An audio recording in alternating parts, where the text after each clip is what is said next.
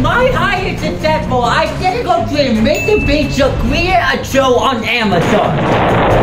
And for the next month, I will have to try to create one for Hulu using 2,500 contestants and create a $10 million grand prize. Because if I don't, I will be shot. Mr. Ah. Beast will you kill me until my body into Feastable chocolate bars.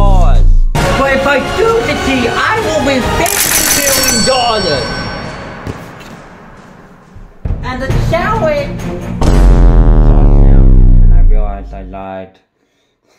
I'm actually hyping on months because if I survive the next month, he cuts told me I'm a woke son of a bitch. That that Twitter, eh, what he now knows as, if I survive to him, because he could be coming any moment at point. Survive that, I will win hundred million Oh fuck. No, no, no, no. No, no, no, no, no, no, no, no. It's it's. Ah, no. Hi there. Subscribe to TJ Neyland on YouTube.